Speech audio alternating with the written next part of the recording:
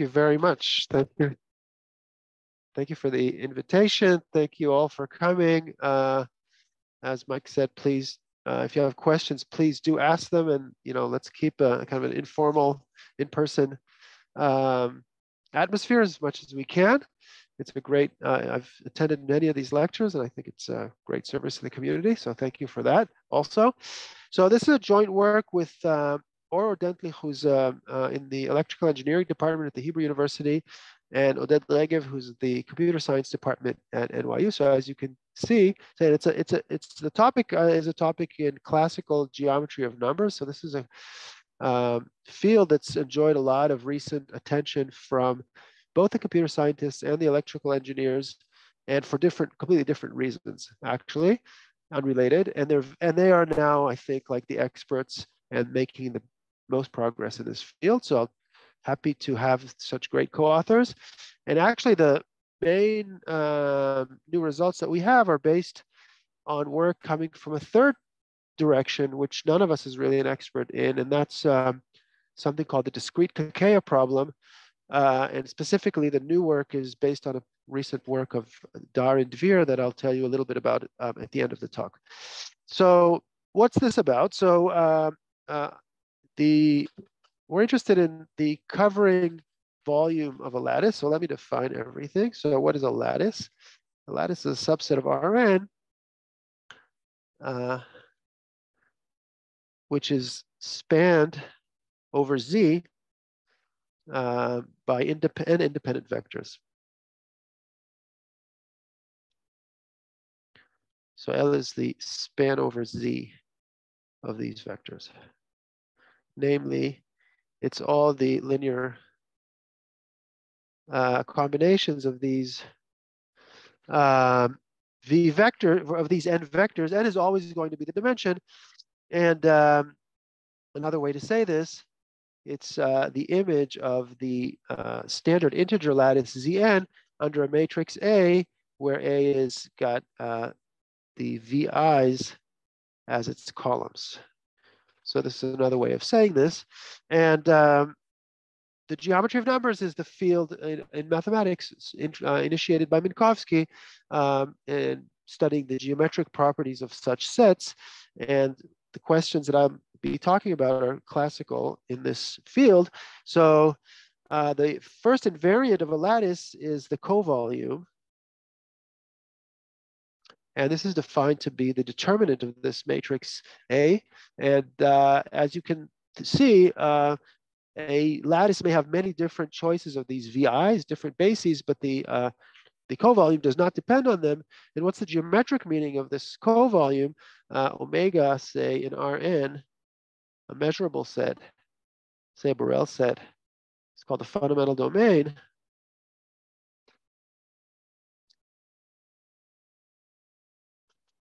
For lattice L, if it tiles perfectly. So in other words, you can write Rn as the disjoint union um, of the translates of omega by element of the lattice.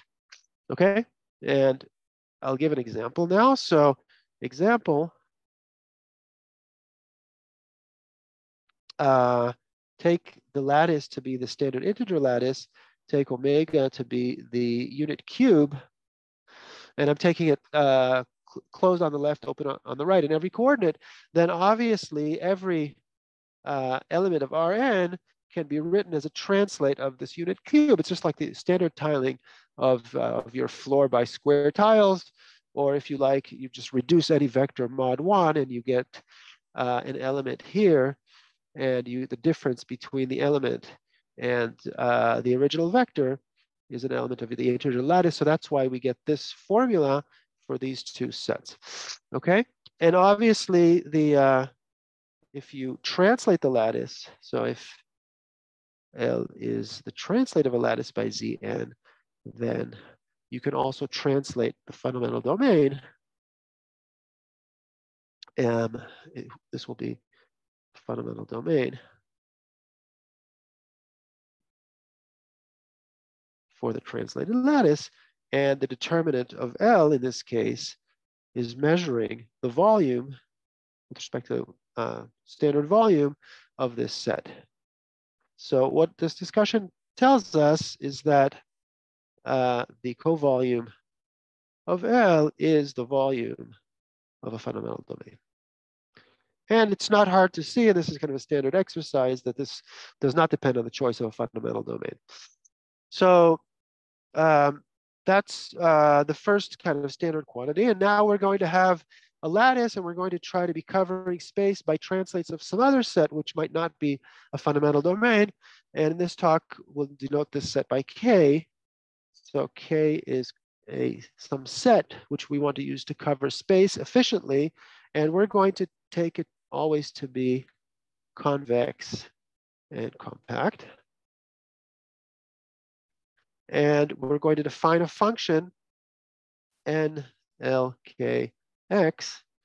um, to be the number of times x is covered, number of L, sorry,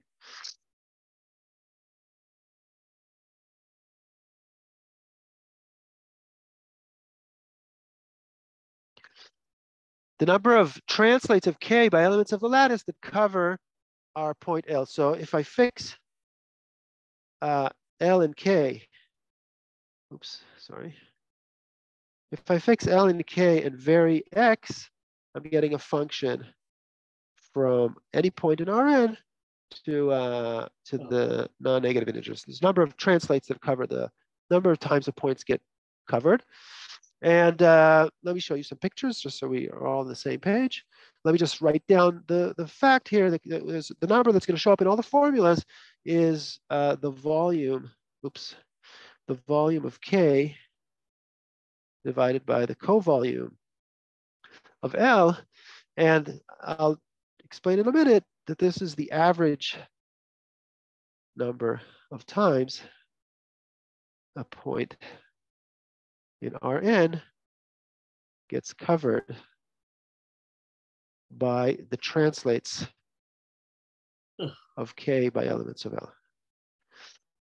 And this is the this is the um, uh, very important uh, number for us. So let's let's show some pictures and so you get the feeling for this. So here I'm showing you uh, the uh, the uh, center the black points are center points of a uh, lattice and the circle is our, our set K. And here we're translating K by the lattice point. So we get this uh, union of circles. They don't cover space and they do overlap.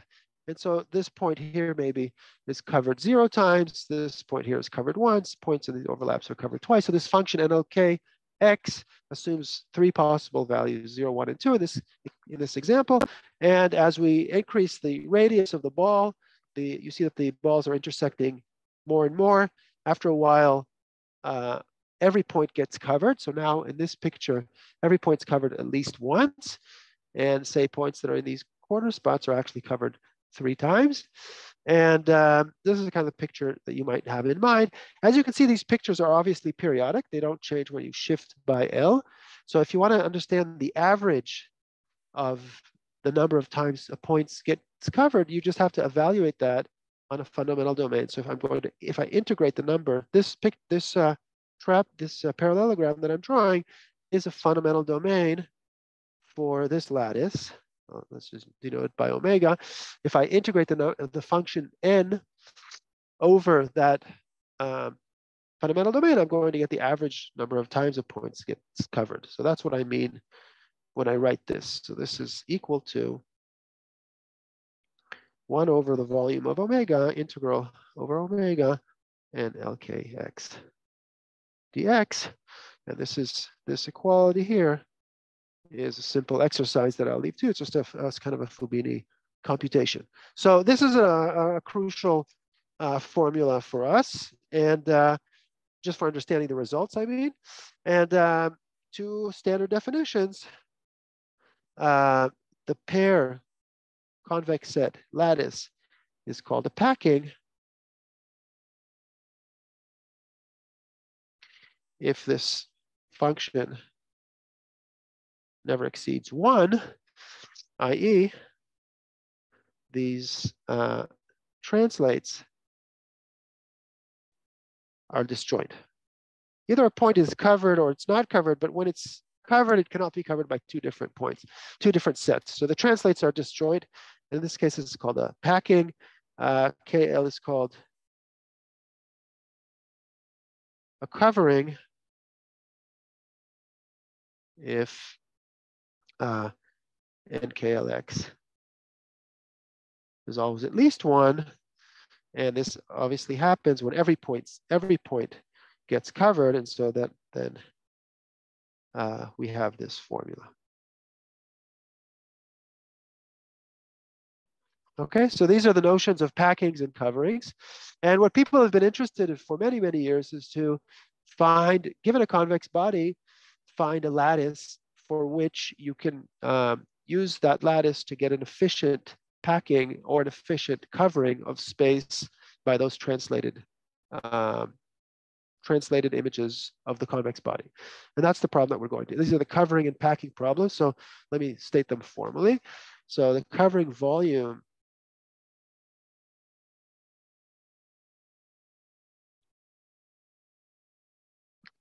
uh, of the, so suppose KL form a covering, the covering volume of KL is defined to be, uh, it's this is traditionally note, uh, denoted by this um, capital theta, and it's defined to be the infimum. I'll write down the formula and explain.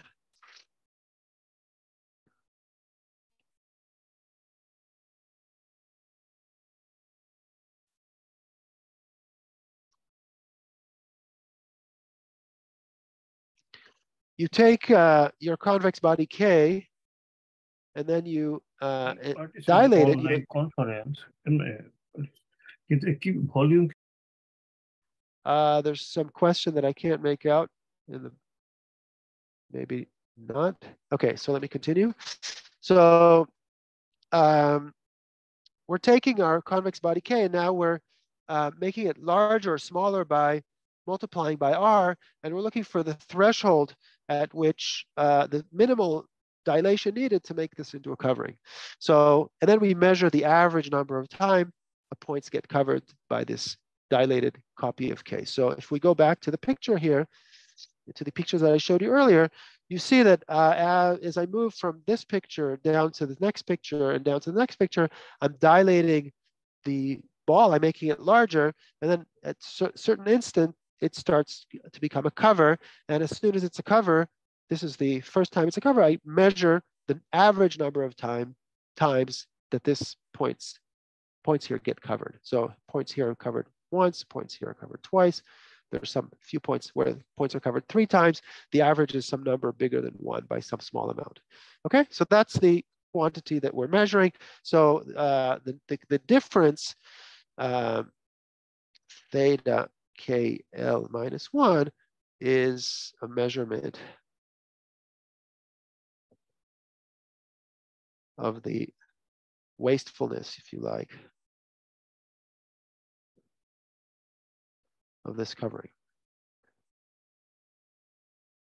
And we make a similar definition with the packing uh, uh, quantity. So uh, you take the, this is denoted in literature by rho. Rho of KL is defined in the following way.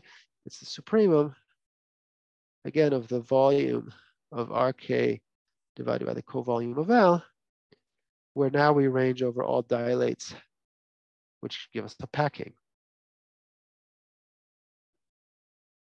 So Barak, just a question in the chat. Uh, yeah. Uh, you assume that K is symmetric with respect to a point is the question. No, no, I don't. Actually, uh, it, sometimes it's assumed and sometimes it's not. I'm not going to assume that. Um, so this is a kind of the similar, uh, this, this is, is measuring, this is always, so this number theta is always bigger than one and this number rho is always smaller than one because here we're averaging a function uh, when we're in the covering situation, we're averaging a function which is bigger than one everywhere. And here we're averaging, this is the average of a function which is smaller than one everywhere. So that's why we get uh, these this inequality and the difference one minus rho KL is a measurement of the uh, proportion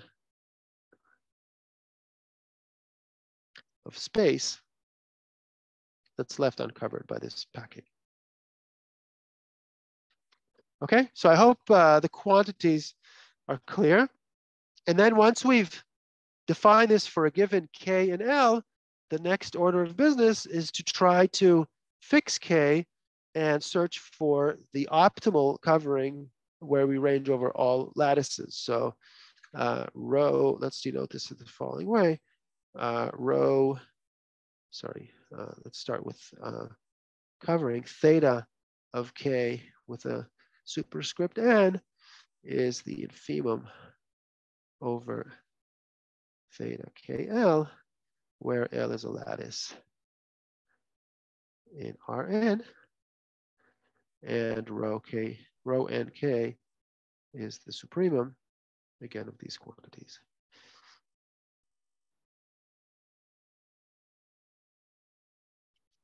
Okay, now it's not hard to check that these are pure, truly geometric quantities. In other words, if I take k and expand it or translate it, I don't change the value of this quantity. And, and if I manage to uh, cover space optimally with a given lattice and I inflate the lattice again, um, uh, in other words, the um, value of this uh, quantity here uh, will not change, or this quantity here will not change if I replace L by its dilate. And so, uh, or uh, okay, so this is this is these are the quantities that we are, are, interested in, and this is this problem of finding these numbers um, has been around for a very very long time, and they make an appearance in even in Hilbert's uh, 1900 list of questions, and uh, they've been studied ever since. But still, not much is known. Uh, the specific case that people care about more than others is the case of the uh, L2 ball. And that's the problem that's, that's um, attracted the most attention. Uh, sorry, I want to keep this notation somewhat standard. So let me get a sub superscript. So rho n is my uh, notation for the um, packing density of the L2 ball in n dimensions. And so uh, very little is actually known about precise values of this. So, so this is known in dimensions um, 2 up to 8 and 24, not in any other dimensions. And this is known in dimensions 2 to 5 and that's it. So, and you know, dimension three is due to Gauss. I mean, various various uh, well-known mathematicians have contributed to what we know. Uh, 24 is a very difficult case uh, where we see the Leech lattice making its appearance, and uh, uh, still many many open questions. And the questions that I would like to discuss, which are also classical, is question: How does uh, theta n K, or let's say Kn behave as n tends to infinity. What's the behavior in dimension getting larger and larger? Of course, uh, to make sense of this question, uh, K is always a convex set in Rn, so it's not about a fixed K. We fix a family of uh, convex sets in all dimensions, and we are interested in this quantity. For example, we might be interested in this behavior for the L2 ball, or we might be interested in this behavior getting bounds which are uniform and work for all Ks, all possible uh, convex bodies K. Um, and of course, I would be interested if, if I'd be very happy to be able to say things also about the corresponding quantity for rho for the packing, but we don't have any results of that type. So uh, that's not what I'm going to be discussing in this talk. But just to um, give you the background, let's start with what's known about rho, just so you'll appreciate that not much is known. So for uh, the packing, uh, we have the following bounds. Uh, if you look at the uh, packing volume of the Euclidean ball, in dimension n, um, you get a lower bound one half to the n times uh, n times a constant. The constants that are that will appear in the talk, there are going to be lots of constants appearing in the talk. The constants that appear, um, you know, they're going to change from one line to the next, but I'm always going to denote them by c. It's not the same constant. You shouldn't be confused by this notation. This is not rho to the n. This is the value of the packing density in dimension n. And the upper bound is um, roughly 0.67 to the power n. So there's a huge gap here between the lower bound and the upper bound. This lower bound was proved in a sequence of papers. So I'll, I'll mention just a few names. Just I'm trying to impress you and you know, I want you to feel that this is a classical problem. It is a classical problem, of course. But let me just mention some notable names here. So uh, Minkowski initiated this study, and this is um, in 1896 he proved the lower bound, which was um, which was linear in n. Uh, sorry, um, sorry, which had this uh, exponent one half to the n, but did not have this um, n factor. And Rogers in the 50s, 50, um, sorry, 47, was the first person to get a linear uh, improvement with this extra n term and Venkatesh, right now, the record holder for this kind of a problem is actually Venkatesh, who in 2013 uh, provided the best known uh, constant here in front of this. But as you can see, the lower bound is very, very far from the upper bound. The upper bound was established by uh, Kabatiansky and Levenshtein. Oops, sorry.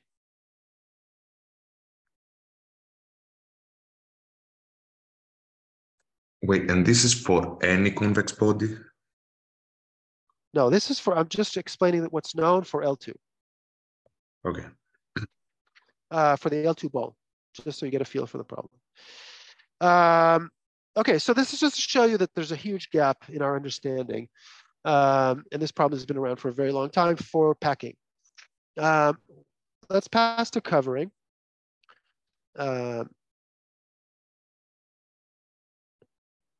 So uh, here's what was known, and I'll, I'll, say what was known before our results, and then I will um, uh, state our results. So uh, for the covering problem, let's start with the L2 ball. So for the L2 ball,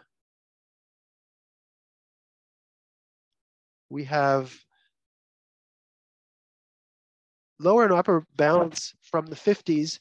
The upper bound is due to Rogers 59. The lower bound is due to Coxeter, Few, and Rogers, also in 59.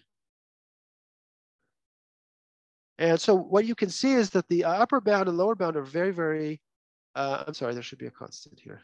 Oh, no, uh, all good. So um, as you can see, the upper and lower bounds are very, very close to each other. I mean, this is uh, linear in n, and here it's also linear in n, and the difference is uh, a power of a log. So it's not a, a huge gap, but it, this is you know still an open question to nail this. And uh, okay, so that's the uh, case of the L2 ball. But the case of the uh, general convex body was um, the, knowledge was there was a, a, bigger gap in what we knew. And here's uh, what I want to state. So if you take the worst case, the worst convex body in dimension n, and look at the covering um, volume, Rogers had in the same uh, paper, in fact, he had a, uh, n to the log log n, n to constant times log log n. So it's, it's a super polynomial function of n. And um, the lower bound, if you look at the worst case, in other words, the convex body for which you get uh, the covering to be as inefficient as possible, uh, nobody's found a convex body which is known to be more inefficient than L2 ball. So in other words, this is the same uh, Coxeter Few Rogers bound coming from the L2 ball appearing here. So now you can see that for general convex bodies, uh, we have actually a very big gap between uh, the upper bound and the lower bound in this problem. And our first theorem which I'll uh, write as theorem A, uh, improves the situation. So the same quantity that I've written down here, we improve uh, the bound to n squared, constant times n squared. Um, that's our first result. And the next set of results that I want to describe are for typical lattices. So um, I'll explain why I'm interested in typical lattices. So what this result says is that if, if, if you give me uh, any convex body whatsoever, uh, I'm able to find a lattice for which it covers uh, and the average number of times a point gets covered is bounded by this number. But I'm not going to be able to actually produce that lattice for you explicitly. Um, and I'm, I'm going to be able to say that uh, with respect to some probability measure on the space of lattices, a typical lattice will actually behave in this way. So this is uh, what I want to describe next. So there's a natural measure. So I'm going to denote it by, Z call it the Siegel-Haar measure. So there's a, oops, sorry. There's a natural measure on uh, the set of lattices in dimension n. So I'm going to denote this by curly xn. So this is L in Rn, L a lattice. And I'm going to only look at lattices of covolume one. For all these geometric problems, uh, reducing to lattices of covolume one uh, makes no uh, difference.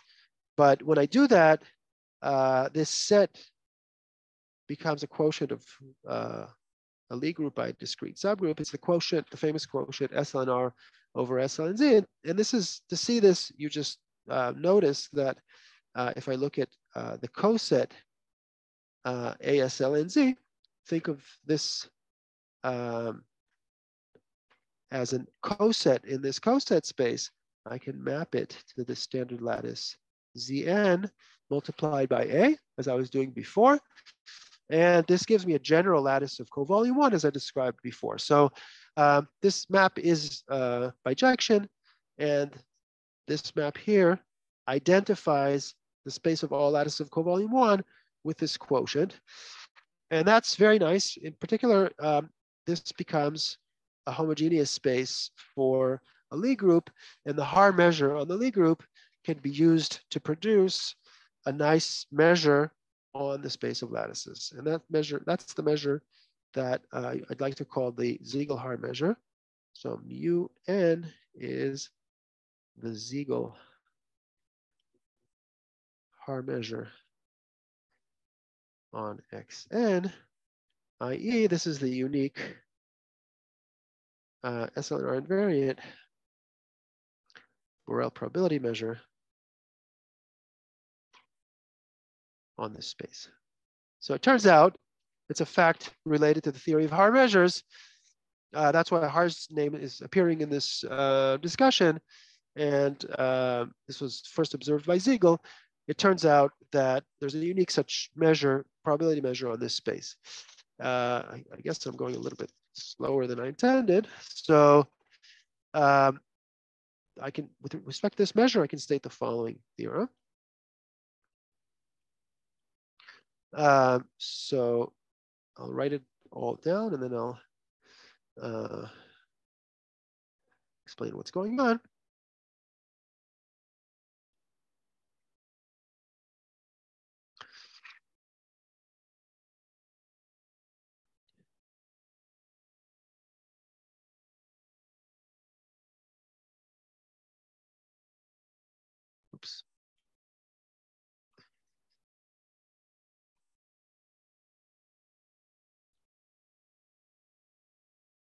So the uh, statement is uh, bounding the measure. It's telling you this, this, this is a probability measure. So I'm telling you that the measure of a certain set is large, which means a typical lattice satisfies this property. A typical lattice, uh, for every epsilon, I can find a constant C so that a typical lattice, uh, where typical means outside a set of measure epsilon, a typical lattice satisfies the bound that I had before in the theorem A, I told you that there exists one lattice for which uh, theta KL is less than a constant times n squared. Now I'm asserting that a large measure of such lattices have this property. So this is the measure estimate that's behind theorem A. Um, now it's telling you, so I'll write it down in words, a typical lattice uh, gives a covering with um, theta KL less than C squared. This is the, so for each, uh, for, uh, for each K. And constant C is independent of the convex body K. Um, that's our second uh, theorem. Uh, you might wonder why I'm stating a theorem about behavior of typical lattices in such a convoluted way. Usually if we work with measures, the first thing might, might ask is what's the average uh, with respect to this measure? What's the expectation of this covering radius? And, and if I were to prove to you that this expectation is uh, of this order, that would be kind of a result of the similar flavor. However, the expectation is completely different, in fact. So remark, uh, the expectation with respect to this measure, un, of this quantity. So I'm varying L according to this measure and measuring the expectation, it's infinite.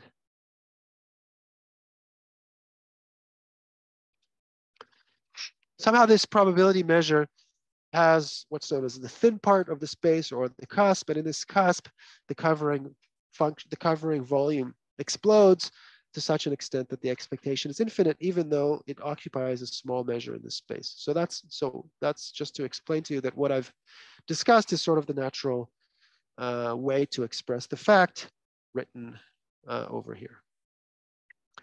Okay, that's I've explained to you the results in the first half of the title. I haven't told you about almost uniform covers, so that's what I'd like to do now. Uh, before doing that, I'll sort of explain the idea. So again, I'm turning back to these pictures and what you're seeing in these pictures is that when I pass down in these slides, I'm uh, dilating the ball and eventually the balls cover. Now, what would happen if I were to dilate the balls even further? Uh, what would happen is that points are going to get covered and um, just imagine the radius of this ball, instead of it being this size, it much, much bigger, it's say this size. So uh, points are going to be covered by lots and lots of balls. And you might ask, what about this function? And the fact is that this function becomes almost uniform. It hardly fluctuates, it's becoming almost a constant function. And that's what we want to understand. We'd like to know when it is. It is it's easy to show that this eventually happens. We'd like to somehow put our finger on what's the volume at which the function becomes almost uniform. So that's, uh, I'll formalize that. That's the, our next uh, quantity that we want to measure. I get uh, another thing to say here. All the results I've mentioned so far have already appeared in one paper, and what I'm now describing is, is the newer stuff. So let's define for um, K and L as before, a quantity eta of KL. This is the maximum as X ranges over Rn of the ratio of the number of times X gets covered by the average.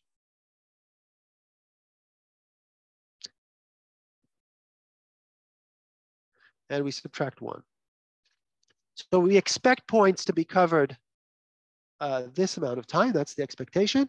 And this is the fluctuation, uh, the ratio of the fluctuation of the actual quantity to the expectation. On average, this is one, but we're taking the worst case. In other words, the point X where this uh, ratio is um, as far from one as possible. And notice that if this eta is less than one, we're back to saying that this uh, function is bigger than zero. So we have a covering. So note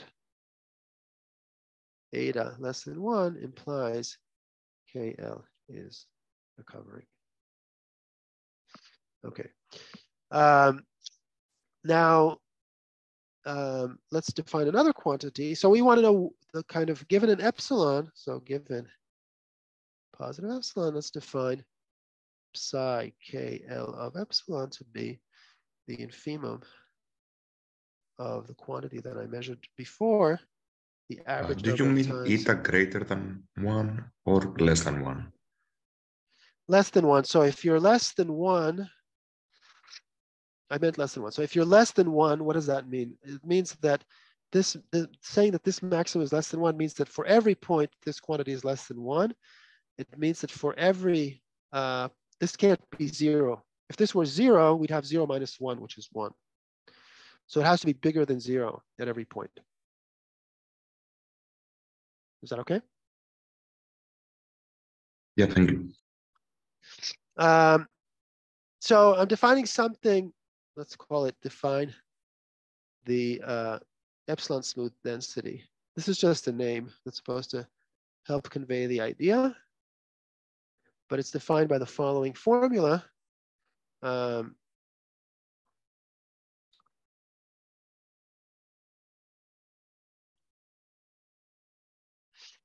I increase R until the first moment when my former, when this, uh, this quantity that I defined before becomes smaller than epsilon. As I said, eventually, uh, this, when I increase the radius, as I showed in the pictures, this quantity is going to go to zero. So I wait for the first moment at which it's less than epsilon, and I call that the epsilon smooth density. It's the minimal average number of times points get covered that ensures that they almost get covered uniformly, where almost uniformly means with respect to this parameter epsilon. Okay, that's a bit of a mouthful perhaps, but nevertheless, let me state the theorem. Um, so I have two parameters in this theorem, uh, epsilon and, and sigma, and I take a sup over all convex bodies and I measure, I'll write it down and then I'll explain.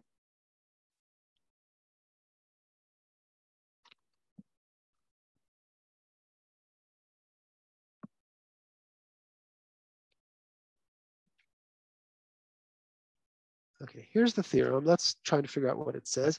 First thing to notice is that we had a power of two in previous results, and now we have a power of three. And we have a parameter sigma, which you should think of as being small. So you should think of this quantity as being very close to n cubed. It's a little bit bigger than n cubed. And this is saying that if we take any convex body, that's why we have a sup here, and we want to inflate the lattices so that we get an epsilon uniform cover, uh, then it's enough to inflate to volume, to um, average covering number n cubed. In other words, the quantity that I mentioned before is just a little bit, uh, it's, it's, a, it's roughly n cubed. So let me write sort of in words what we're talking about. So this approximately means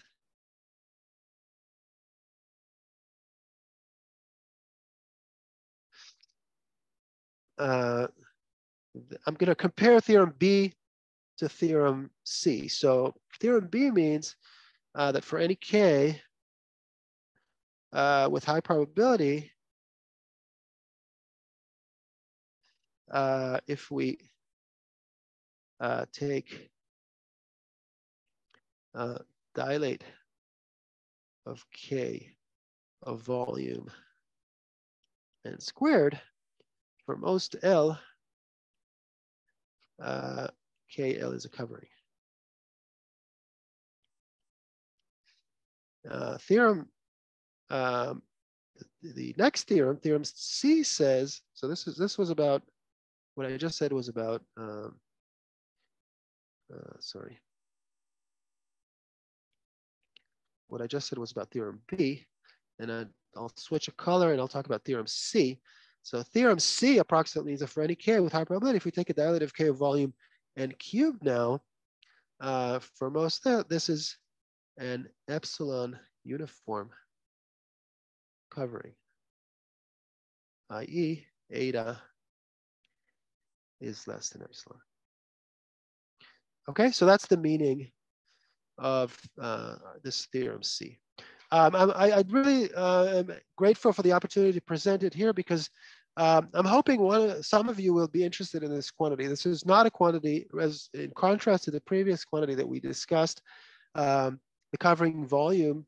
Uh, this is not a quantity that has been on uh, anybody's radar in pure mathematics uh, literature, but uh, it's very, very natural from the point of view of the computer science and electrical engineering applications that I mentioned before. And uh, well, we like it. We think it's interesting. So uh, this is an opportunity to uh, publicize it. So this is, those are the three results, theorems A, B, and C. Um, I'd like to say, I have about uh, a little less than 10 minutes. I'd like to say something about proofs. So um, I mentioned at the very beginning of the talk the names of Dhar and Dvir. Uh, Dhar and Dvir gave us a crucial input in the theorem of theorem C, in the proof of theorem C. Uh, earlier, uh, the earlier work in which we proved theorems um, A and B also got a crucial input from this field called the study of the discrete Kakeya problem. Um, and I'd like to say a little bit about that. So what is the discrete Kakeya problem?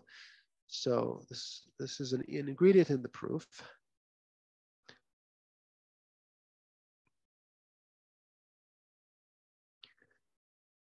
Um, we're looking at the uh, field, P is a prime number, and we're looking at the uh, field with P elements, and we're looking at the vector space of dimension n over this field. And we have a subset in this finite set. And this is called a Kakeya set if it contains a line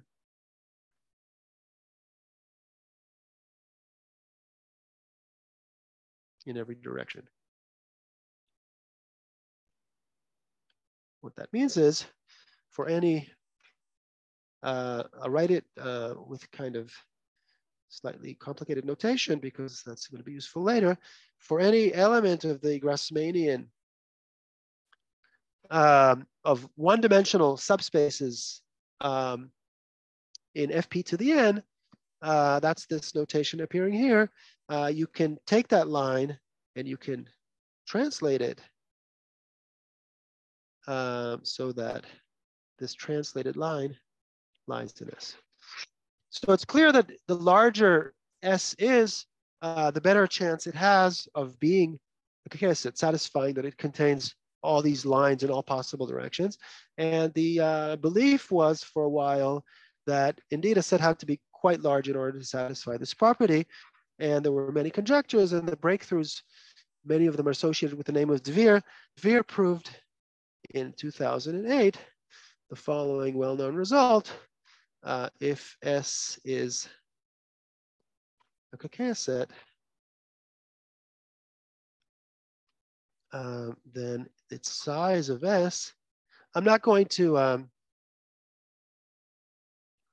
uh, do too much to do justice to this result, but uh, I'll just state it because it should be stated. Um, so he pro provided a lower bound on the size of a Kakeya set, the amount, the uh, relative size of a Kakeya set relative to the size of the, of the entire uh, vector space uh, decreased in terms of the parameter P, the number of uh, elements in the field as a constant depending on the dimension uh, over P. And this was a breakthrough that people uh, thought people had much weaker uh, lower bounds before him. Uh, what we care about in, in actually in this work is about sets of rank two. So let me define sets of rank R in general R. So S in FP to the N is called a Kakeya set of rank R. Um, if, oops, Uh, it's a similar definition, except I replace the Grassmannian of lines with the Grassmannian of R-dimensional subspaces.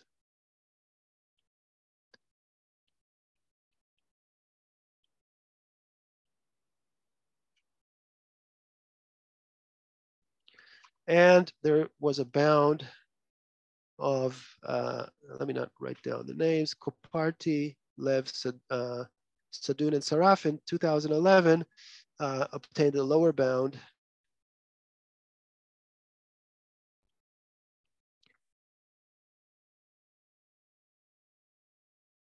Uh, and I'm, I'm focusing on the case of rank two.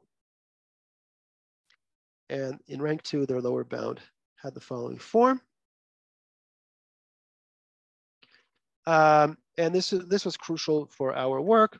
So let me very, very briefly, and uh, I'm not going to state that there's a, the, this, this input here, um, this theorem here is what we needed to prove theorems A and B, uh, and a slight improvement of that, which I won't go into. Uh, for theorem C, we needed a further result of Dhar and Dvir, as I mentioned in the very beginning of the talk. That result came out um, uh, earlier this year, or maybe last year, I'm not completely certain. Um, and so further, further improvements along the lines of these works are what feeds into our work. Okay, uh, very, very briefly, what does this all have to, what do these problems have to do with each other? They seem completely unrelated perhaps. So uh, how does this work? So I'll give you the idea in a nutshell. So uh, connection, oops, connection to the covering problem. You'll understand our technique. So first step, we're trying to, we're given a compact set and we're trying to find an economical a lattice for which we get a lattice for which we get an economical covering using this compact set. So the first step is a step called discretization. What does that mean? I'll just show it by pictures. So uh, and let's just write down embed L in a dense lattice L prime, which is one over P times LP is a prime for reasons that will become apparent in step two and cover L prime instead of Rn. So let me show you the slide, the picture. Um, in this picture, think of P as being five. So the original lattice is are these black points. And I'm introducing a new lattice, L prime, which are the red points. It's the original lattice scaled down by a factor of five. So every fundamental domain here now contains 5 squared, which is 25 points. And instead of, I'm telling you that know, if I want to understand how large um, the balls should be so that they cover uh, the red points, sorry, so they cover all of space, it's enough to be able to cover uh, the red points. And then there's this idea that if I inflate it just a little bit more, I'll be able to cover all of space and I won't lose much. So that's the first idea that requires some work, and that's called discretization. Now that we have that second step, well, and I'll end with that, step two, uh, replace uh, L with span of LV for some V in uh, L prime mod L, which is uh, FPN.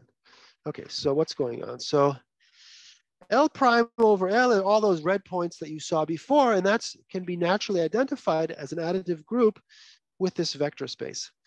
And if I choose an element from this vector space, um, I can add it to L and thicken the lattice. Thicken the lattice by one dimension. So I'll show you an example. Uh, the example is right here.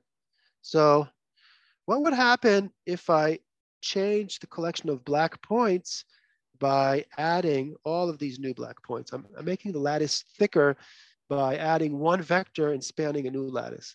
Well, the circle gets translated in a certain direction. And as you see in this picture, maybe it covers already, covers all the red points, and then we win. And that's going to be our goal. Our goal is to be to choose this extra vector so that we can just add it uh, to the lattice, which just means push around this um, the, the, the set using it and cover the red points. And if you, that's what we were going to try to do.